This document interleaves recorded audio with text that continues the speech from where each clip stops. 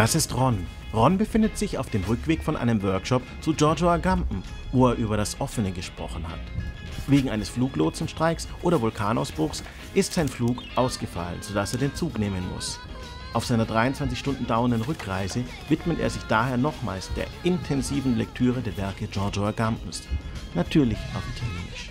Den peinlichen Proseminaristenfehler, Giorgio Agamben in den kursierenden, fürchterlichen Übersetzungen zu lesen, begeht er nicht mehr.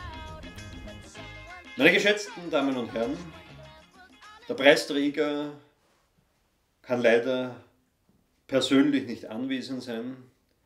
Er ist auf einer Exzellenzinitiative, Tagung Kolleg, ich weiß nicht genau, Rio, Berlin, Frankfurt, St. Pölten, Wagram an der Dreisen. Das ist Ron. Viele von Rons sogenannten Freunden kennen Jacques Rancière persönlich. Rancière hingegen hat keine Ahnung, wer Ron ist, der wiederum mit Jean-Luc Nancy schon einmal Taxi gefahren ist, weil dieser ihn mit jemand anderen verwechselt hatte. Hätte Nancy gewusst, wer da neben ihm im Taxi saß, wäre er lieber mit Rancière gefahren. Ron ist seitdem gut mit Jean-Luc Nancy befreundet. Das verschweigt er aber, wenn er zu einem Vorstellungsgespräch eingeladen ist, wo ihm analytische Wissenschaftstheoretiker und Theoretikerinnen gegenüber sitzen. Im internationalen Vergleich steht Ron also gar nicht mal so schlecht da. Er gibt alles, um so zu sein wie alle anderen und war aufgrund zahlreicher Tagungen und Dienstreisen schon drei Jahre nicht mehr in seiner Lieblingskneipe. Außerdem besitzt Ron Ollis Festnetznummer immer noch von früher. Er vermisst die alten Zeiten, wo man noch ohne Agenda beim dritten Bier einfach sagen konnte, was einem durch den Kopf ging. Das ist Ron. Ron hat sich in den ersten Jahren seiner Forschung mit Fragen der Autorschaft beschäftigt. So hat er nachgewiesen, dass Romos Neffe von ihm geschrieben wurde und Bonaventuras Nachtwachen von Diderot. Er löste damit in einschlägigen Publikationsorganen wie der Brigitte, Petra oder die Giraffe eine heftige Kontroverse aus, die sich vor allem auf die offensichtlichen Fehler seiner Beweisführung und die fehlenden empirischen Belege seiner Behauptungen bezogen. Ron ignoriert alle Einwände konsequent und wurde dafür zu Recht mit dem Forschungspreis ausgezeichnet. Je suis Ron. Je suis Baron. Unwissenheit schützt vor Preisen nicht. Deswegen fährt er jetzt nach Prag. Statt eines Preisgeldes bekommt er ein Käsekreiner Gutscheinheftchen, über das er sich als Vegetarier natürlich sehr freut.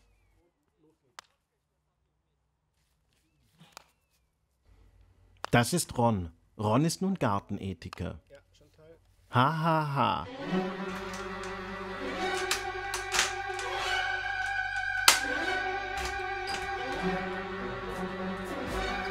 Das ist Ron. Ron hat sich vorsichtshalber gleich alle Bücher von Hans Blumenberg gekauft. Es könnte ja sein, dass er sich auf eine Postdoc-Stelle bewerben muss, für die es von Vorteil ist, mehr als zwei Buchtitel von Blumenberg parat zu haben. Denn Blumenberg gilt als angesagt. Zumindest hat man ihm das auf der letzten Blumenberg-Konferenz gesagt. Dort waren alle einstimmig der Meinung, Blumenberg habe mit seiner Beschreibung des Menschen nicht nur eine Anthropologie, sondern auch eine Beschreibung des Menschen vorgelegt. Seine letzten Worte kannte sowieso jeder besser als Blumenberg selbst. Meine hochverehrten Solipsistinnen, Liebe. Ein wenig in Verwirrung gerät Ron immer, wenn er gefragt wird, was er denn vom Lektorbild bei Deleuze halten würde. Denn da kann die ansonsten immer richtige Antwort ästhetisches Regime nicht weiterhelfen. Liebe äh, Prothesen. Du Olli, wie machen wir das jetzt mit dem Preis? Ich habe keine Ahnung, was ich da machen soll. Naja, das musst du halt über dich ergehen lassen. Ja, aber. Ganz seriös bleiben, ruhig. Also keine Witzchen dieses Mal. Na, es- einfach am besten nichts sagen. Ja, das kam aber bei dieser Berliner Agamben-Konfer- äh, bei dieser Berliner Agamben-Konferenz kam das super an. Naja, aber Ja, aber Wien ist nicht Berlin. Das ist Ron. Ron ist unterwegs zu einem Vorstellungsgespräch. Er hat vor, seine italienischen Agambenbücher schon am Zielbahnhof unter den Armen zu verteilen. Ron ist, wie wir bereits vermutet haben, ein guter Franziskaner. Zudem kann man das alles nicht mit Ned Block und Michael Ty viel besser oder gar wissenschaftlicher erklären? Ron ist nämlich mittlerweile zur Philosophy of Mind übergewechselt und zwar genau in dem Moment, als ihm in einem Forschungsprojekt zur Emergenz und Supervenienz der Superemergenz von Quasiqualia eine 6-Jahre-Stelle in Aussicht gestellt worden ist. Er ist jetzt bald Projektmitarbeiterin und eliminativer Reduktionist. Was sind schon Ideale, wenn man es sich leisten kann, keine zu haben? Nur Nihilist wird Ron nicht, und zwar aus moralischen Gründen. Wenn die Kühe schöner sind als die Frauen. Was mir halt wichtig wäre, dass wir das einmal üben, wie ich auf die Bühne komme. Ja. Das ist ja in Stockholm damals ziemlich schief gegangen. Ja.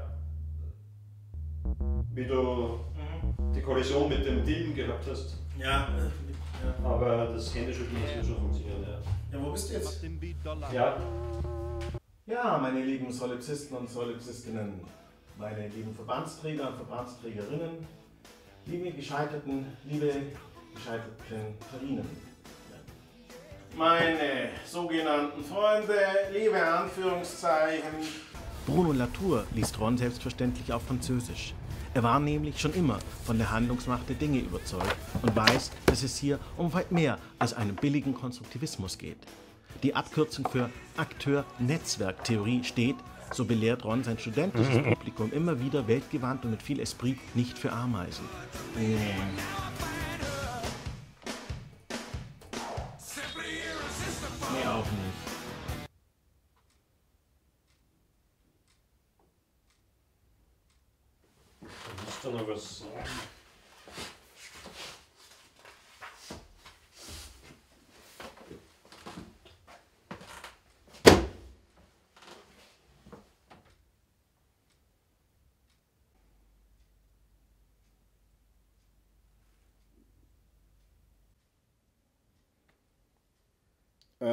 du, Olli, ich glaube, ich habe einen Preis gewonnen.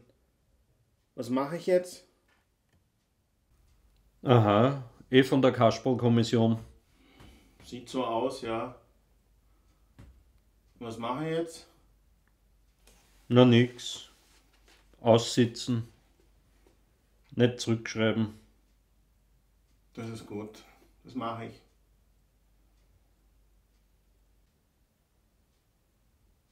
Was liest denn jetzt der Gampen?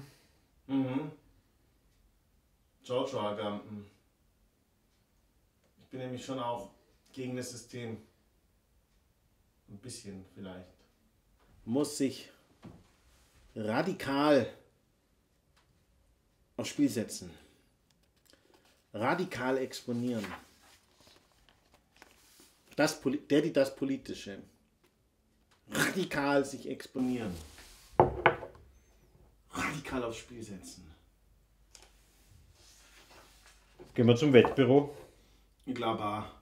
Radikal! Radikal aufs Spiel setzen muss man sich. Radikal exponieren. Radikal.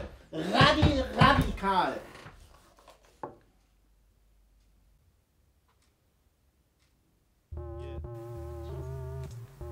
Feeling.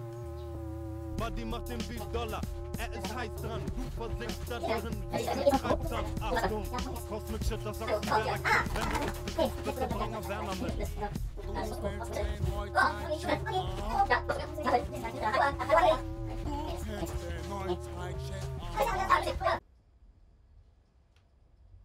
Das ist Ron. Ron erinnert sich gerne an dies und das, jedoch nie an etwas Bestimmtes. Das ist so, wenn man unterwegs ist. Seine alten Freunde Rod und Ray waren schon lange nicht mehr in Freiburg. Freiburg hatte sich ohnehin schon längst zu einem Sehnsuchtsort zweiter Klasse verwandelt. Man war jetzt in Prag oder Lissabon.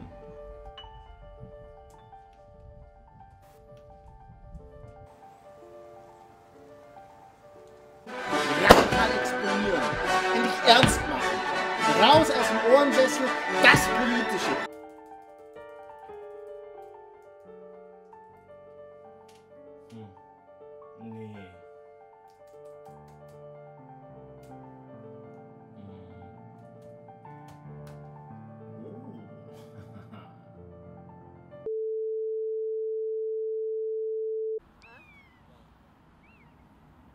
Meine lieben Solipsisten und Solipsistinnen, liebe Fraktionszwängler, liebe polyamorösen, liebe Nilpferde, liebe narzisstische Freunde.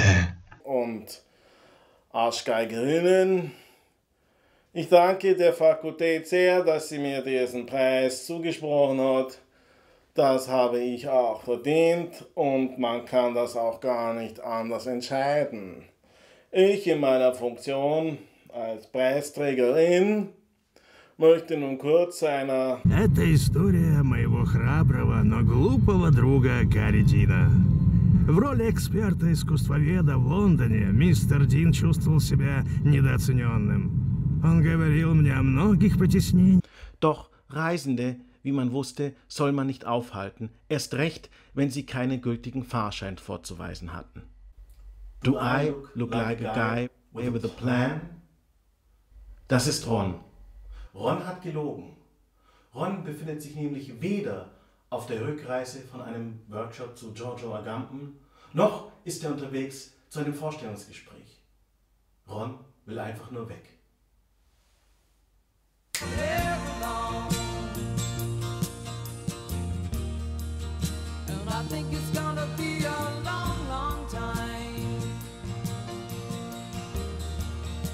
I think it's gonna be a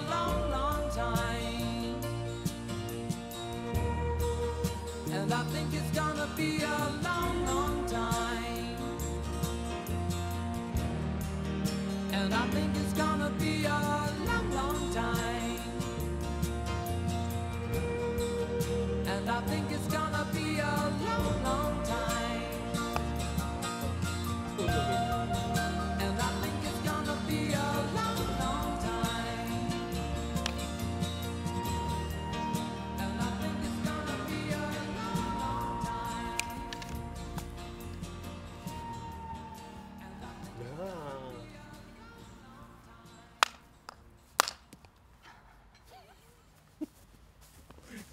Entschuldigung.